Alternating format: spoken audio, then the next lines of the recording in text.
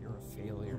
That's all I want. You just know right now. Just know it right. Just you just just get out plan your. Why just go to college. Get this real job. You stop. Stop writing down that job. You have stopped it. You're terrible. You're a failure. You're a failure.